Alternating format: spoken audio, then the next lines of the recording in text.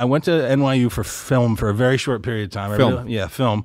I realized after a year, basically, that it was was not for me.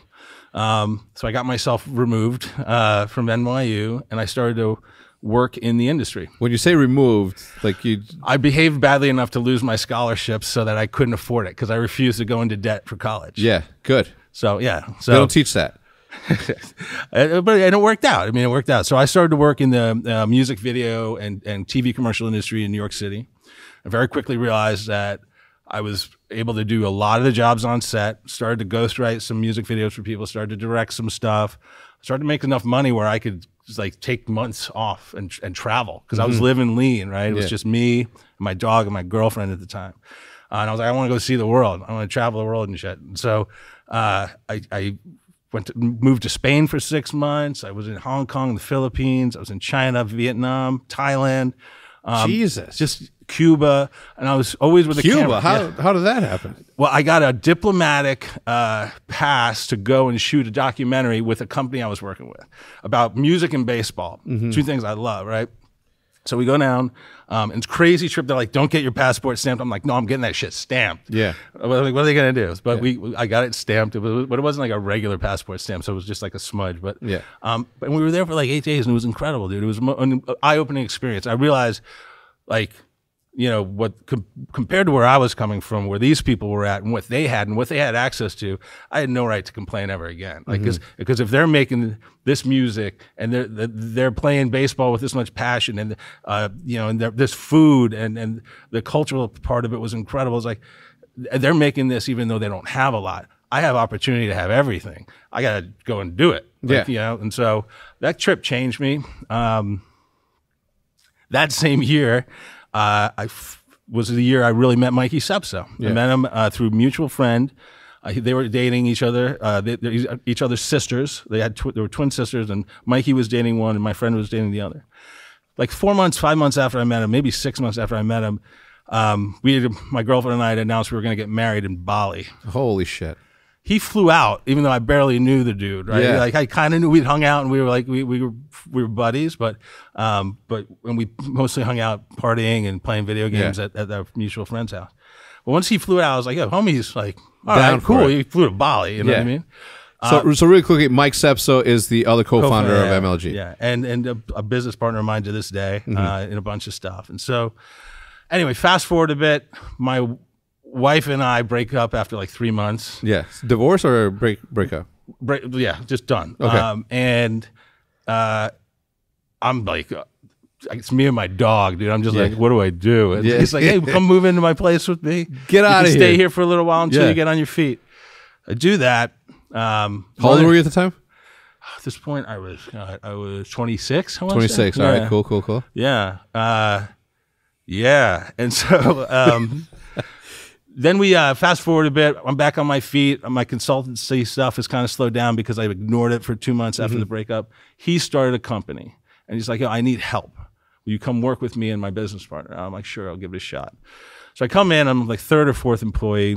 Uh, we build up this consulting business called Gotham Broadband.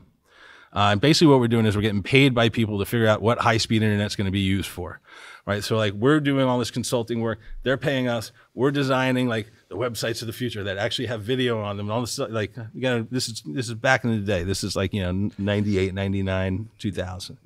Uh, Jesus. yeah, way back. But I'm old. I'm 46. Um, anyway, 9/11 happens. Internet bubble pops. Uh, shit gets, goes south. We decide to liquidate the business, pay back all the investors, and take some time off. That summer, 2001, 2002, play a lot of Halo, a lot of well, a lot of video games. I think I think Tekken was still was what, what we were hitting with, and then um, some a little bit of golf, not that much because we're both not really that good. But we we're like, yo, let's like figure out what we're gonna do, and we said video games is gonna be it, uh, and competition is gonna be part of it because we're both competitive motherfuckers, and so. That's where really this all started, and we originally just started out as Ambi Games, right? That was the original name of the company because we didn't know what we were going to be yet. We, we were kind of stealth mode. Like ambi, like ambidextrous. Yeah, AMBI, exactly. We were going to go left, go right. We weren't sure yet. And then uh, we did some research. We saw these kids are having tournaments, and there's stuff happening over in Korea, and these guys, and that's like crazy. But it's not. I, we didn't think that would play here. So like we had, how do we bring that to the states? How do we bring that to the, you know to North America? Um, Where did you do the research for something like that? Because the internet, as as, as it it is, was message boards, bro. It was like it was really, it, and and also because we were also in touch with people who worked at these companies that were providing high speed internet access, and South Korea was ahead of everybody at the time, bro. It, it- there was government, uh, you know, supplemented. They had internet.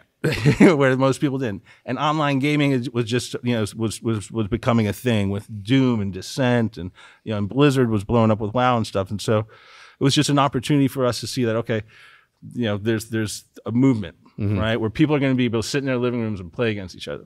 This is before you could, uh, which makes me sound even older. But but I was like, yo, I'm gonna, I'm going to do this. I'm going to build this shit. Like like this is it. Like I I know what I'm supposed to be doing right now, and this is it. Um, fast forward.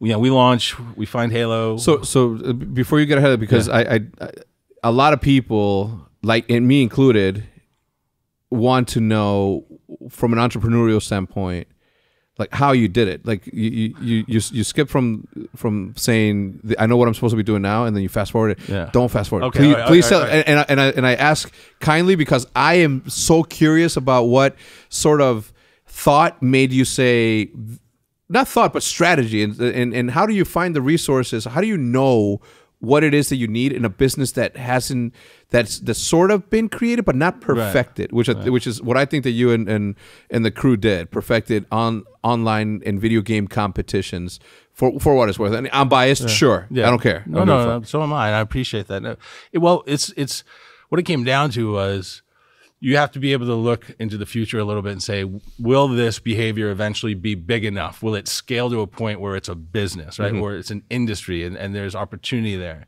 and um, and then you just have to take a ticket and ride with it, right? And so, and believe in yourself, and and speak to a lot of people, and find mentorship, and and find people you can talk to who you trust, um, and wake up every day and and you know say, okay, today I got to move it forward, right? Because in the beginning it's slow, right? I didn't have at the time I had some money, uh, but not a ton saved up, so it was like every month was a it was a question of right, am I going to do this or am I going to you know go and enjoy myself or get a get a job where I know that everything is secure, right? And and later on in the business, I'll, talk about it a little later. Like there was a point where it was uh, either I stop right now or I never stop.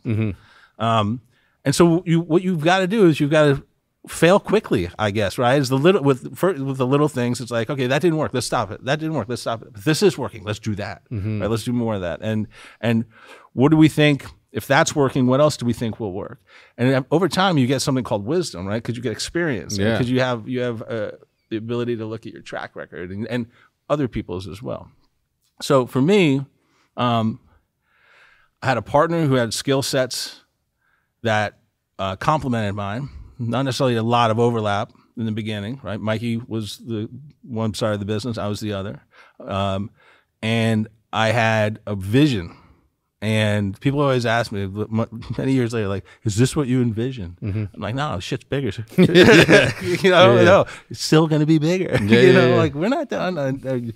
They're not done. So how could I be done? Yeah. So I, I think my my point of advice for anybody who's out there who's saying like, what, what do I need? yeah how Belief in yourself is number one, Yeah. right? Above everything else. Willingness to fail too, because if you go into it afraid to fail, you already have. Yeah. A lot of the time, you already really have, and also an undying belief that like what you what you are like. This is what I'm creating. This is how I'm going to get there. You believe in that. You believe in yourself. You do what it takes. Yeah.